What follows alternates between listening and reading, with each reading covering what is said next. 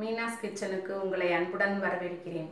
இப்போது எள்ளு கடலை உருண்டை அப்படிங்கிற ஒரு எளிமையான ஸ்வீட்டை வெல்லம் யூஸ் பண்ணி செய்து செய்ய போகிறேன் இது நல்ல ஆரோக்கியமானது குழந்தைகளுக்கு ரொம்ப பிடிக்கும்.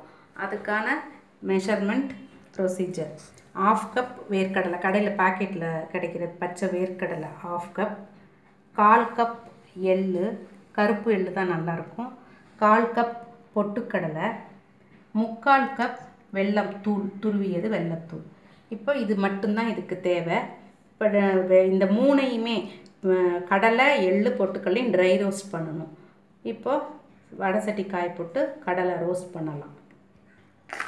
இப்போது வானலை சட்டி காஞ்ச உடனே கடலையை போட்டு ரோ ட்ரை ரோஸ்ட் பண்ணுறேன் ரோஸ்ட் பண்ணுறது எப்படின்னா இது தோலெல்லாம் கலண்டு வர ஆரம்பிக்கும். அது வரைக்கும் கருகிராமல் நிதானமாக அடுப்பை எரிய விட்டு ரோஸ்ட் பண்ணணும். தோல் கலந்த பிறகு நிறுத்திடணும். நிறுத்திட்டு எடுத்துட்டு ரப் பண்ணி கையில் தேய்ச்சி தோலெல்லாம் எடுத்துடணும். இதை கடலை வறுக்கிற பதம்.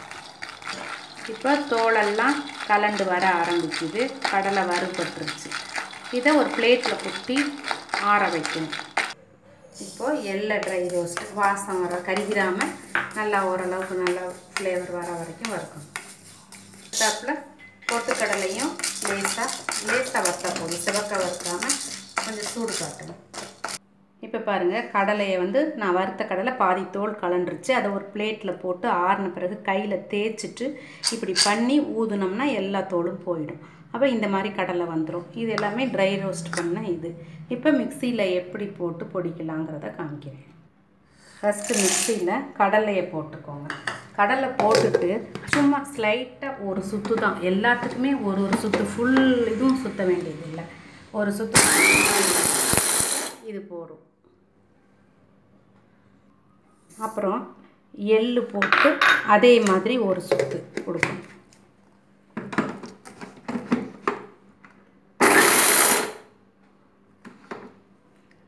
அடுத்தாற் அடுத்தாற்போல் பொட்டுக்கடலை. பொட்டுக்கடலை போட்டு அதே மாதிரி ஒரு சுத்து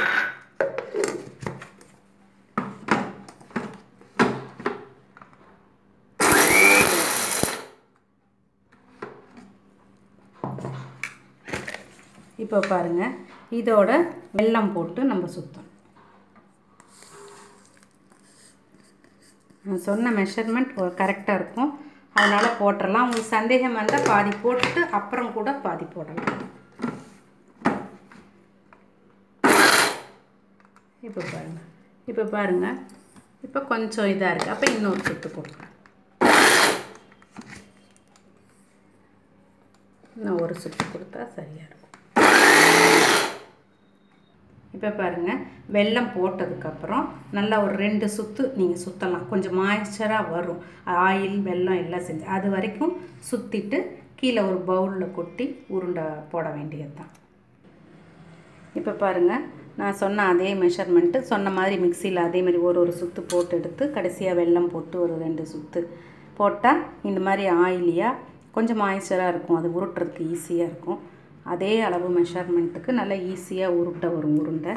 இது நல்லா ஏர்டைட் கண்டெய்னரில் வச்சுட்டு ஒரு வாரம் கூட வச்சுருக்கலாம். ஒன்றும் ஆகாது. நல்லாயிருக்கும் சாப்பிட்றதுக்கு குழந்தைங்க விரும்பி சாப்பிடுவாங்க. நான் சொன்ன அந்த மெஷர்மெண்ட் கரெக்டாக இருந்தால் இது செய்கிறது ஈஸி அதாவது ஒரு கப் கடலைப்பருப்புன்னா வேர்க்கடலை பருப்பு ஒரு கப்னா ஆஃப் கப் எள்ளு ஆஃப் கப் பொட்டுக்கடலை. இந்த இது வந்து ஒன் அண்ட் ஆஃப் கப் வெல்லம். நான் வந்து பாதி மெஷர்மெண்ட் எடுத்து செஞ்சுருக்கேன். அதான். பாருங்கள் இதுதான் எள்ளு கடலை உருண்டை. நான் எடுத்த அந்த ஆஃப் கப் கடலை வேர்க்கடலைக்கு இவ்வளோ உருண்டைகள் வந்திருக்கு. நீங்கள் கரஸ்பாண்டிங்காக மெஷர்மெண்ட் இன்க்ரீஸ் பண்ணி இந்த ஹெல்த்தியான டேஸ்டியான ஸ்நாக்ஸ் ஸ்வீட் ஐட்டத்தை குழந்தைகளுக்கு செஞ்சு கொடுங்க. பிடிச்சிருந்தா மீனாஸ் கிச்சனுக்கு சப்ஸ்கிரைப் பண்ணுங்கள் நன்றி வணக்கம்.